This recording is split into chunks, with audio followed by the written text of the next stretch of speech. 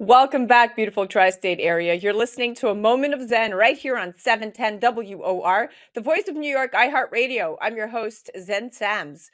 Up next in the Discover Your Potential segment brought to you by The Wellness Way, today we're joined by contributor, podcaster, and co host Anna Devere. She's joined by her dear friend, Michelle Lucas. Now, as a proud Space Camp alumni, Michelle is a mm-hmm. former flight controller for the International Space Station and an astronaut technical instructor. Additionally, Michelle and a business partner run Unify Space Agency, which is a talent management company for retired astronauts. She's also the founder and CEO of Higher Orbits. With a new focus on inspiring the next generation, she founded Higher Orbit, which is a nonprofit that uses space to excite students about STEM. She runs programs all over the world, encouraging them to find and pursue their passion. Impressively, she's an A1 AA Associate Fellow, a member of the Space Camp Hall of Fame, and the recipient of the first ever Embry Riddle Aeronautical University Alumni Entrepreneur Award. She's going to join me today with Anna to chat about encouraging and uplifting students in STEM, failing forward, and how space really does inspire. Welcoming now to the show are my dear friends, Anna and Michelle. Welcome to the show, superstars. Hi, so grateful for the opportunity to be here. I am so excited to talk to my friend and bring her on to iHeart. It's it's wonderful to have you here, Michelle let's dive right in. Michelle, it's amazing to see the trajectory of your career and so fitting that we have this conversation so close to May 5th, which is National Astronaut Day. Now, your journey has been nothing short of incredible. You studied aerospace engineering, communications, and space studies at Purdue University and Embry Riddle Aeronautical University. And upon graduating, you spent 11 years working at NASA's Johnson Space Center, where you were part of the payload safety review panel. To my understanding, after this, you worked mission control for the International Space Station as a flight controller and then went on to be a technical instructor for astronauts as well as instructors and flight controllers all over the world. You have one impressive career. Now, what was it that inspired you to pursue a career in space at such a young age?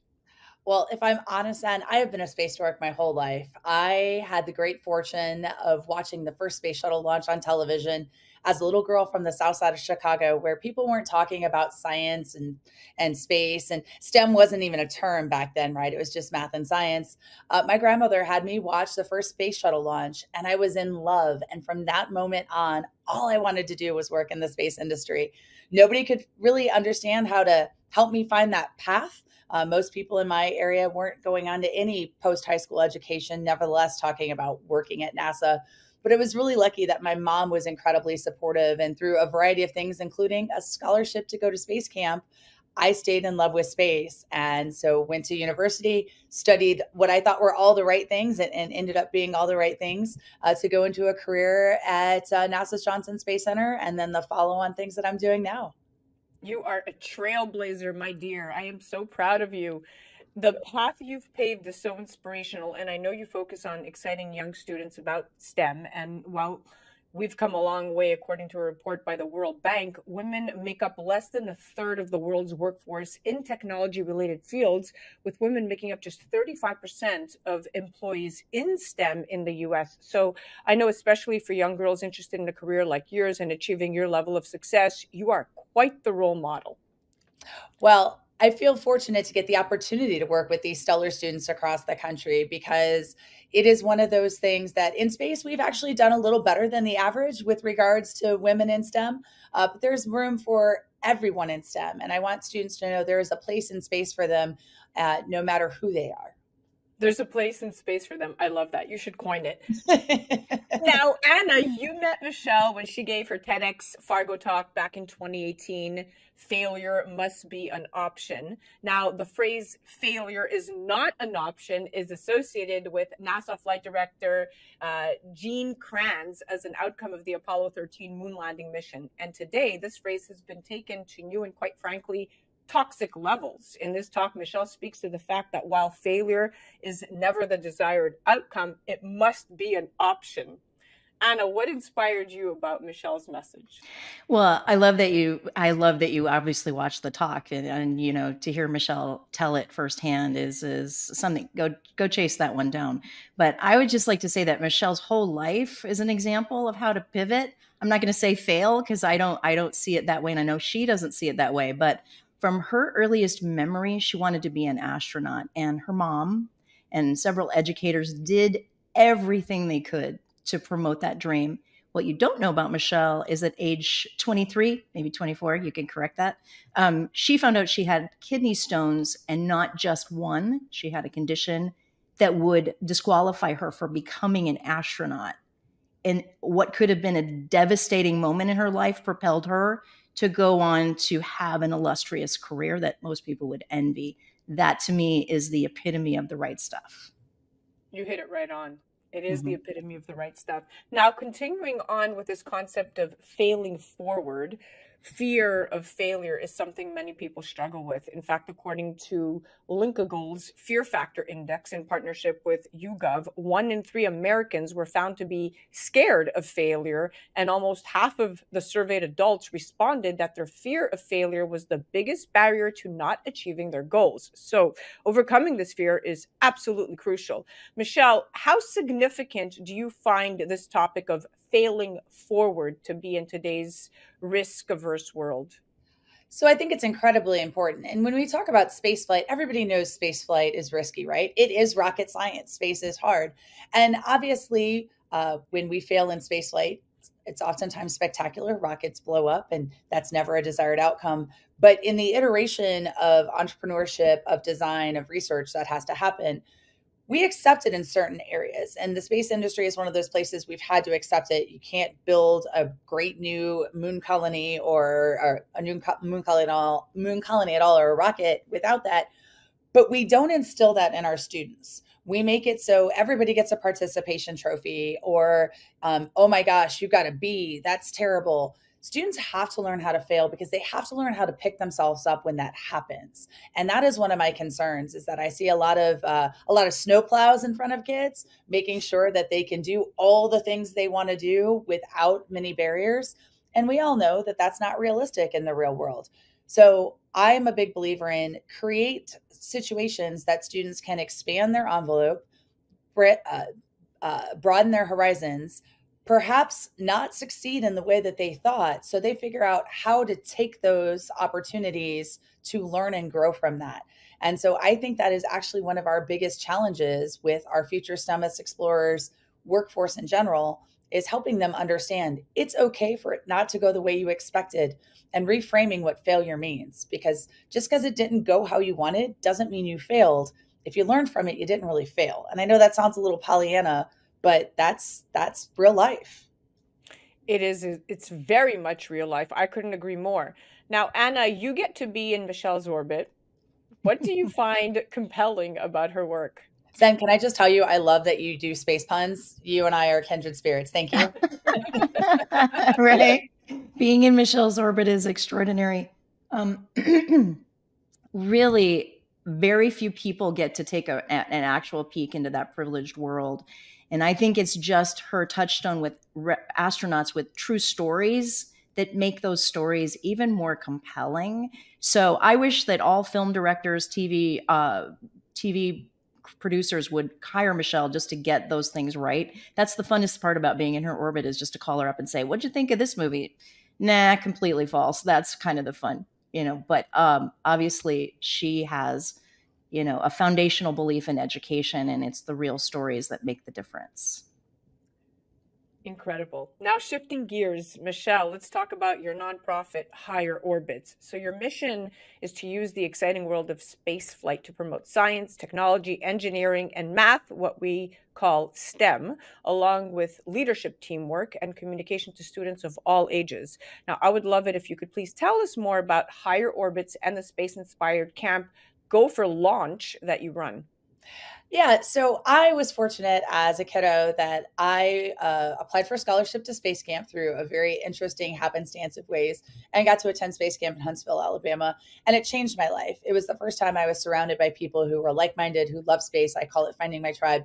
Um, and it kept me on my path at a time that was very difficult. In middle school, I was incredibly bullied, um, and I didn't think there were other people out there like me. And so I went to this camp and I found that. Uh, I wanted to be able to bring a space inspired STEM event to the backyards of students across the country. And so I created Higher Orbits and the Go for Launch program, where students get to work with an astronaut for the whole event. And that is unique. And when Anna mentioned the storytelling, I'm a believer in stories. I think the power is in the journey. And so while it's awesome to hear about an astronaut and their flight in space and piloting the spacecraft or doing a spacewalk, what is just as powerful is how did they get there? What is their story? Because it didn't just magically happen overnight and they don't all come from privilege. Actually, most don't. And so hearing that story and sharing that with students is really powerful. So we run this event all across the country. We've done it 75 plus times in 19 different states. And the students work for a couple of days on a variety of team building challenges. We're never solving the rocket equation on purpose, but we're using space as an inspirational platform. I say all the time there are two things that inspire all kids, or excite all kids, I should say space and dinosaurs. Uh, I know not much about dinosaurs, a bunch about space, so we use that as our platform. Ultimately, the teams of students, uh, they get broken into teams once they get there they designed an experiment that fits inside a cube that's about the size of a square clean of a rectangular Kleenex box that could fly to space. And we've already sent 20 student experiments to the well, 19 to the International Space Station and one on a suborbital rocket. Uh, are they all going to be rocket scientists? No. Uh, do I even want them all to be rocket scientists? If that's what they want, yes. Uh, but what I really want them to do is realize that by keeping STEM as part of their pathway, they leave a lot of doors open. And I also want to empower them that they can do whatever it is that they are willing to work hard for and also work on their communication, teamwork, and leadership skills because that is an integral part of no matter what job you go into. Wow. I mean, you have a great roadmap, and this is why your program is so successful. I, as a parent, would love my daughter to participate in this. And I think that you are inspiring an entire generation, and it's so, so much it's it's so there's a gap that you're filling. It's very very much needed, especially in this day and age. Well, as you mentioned, a gap. There's there's something called the confidence gap that is a a chasm between what you actually are capable of and what you think you can do. And the earlier we can start to try and fill that for students, the more we empower them to go do amazing things. And you know, I'll hear people say, "Oh my gosh, we're in trouble with the next generation, whatnot." And I'm here to tell you that based on a lot of the students I work with, we're not in trouble. There are some brilliant, amazing young people out there.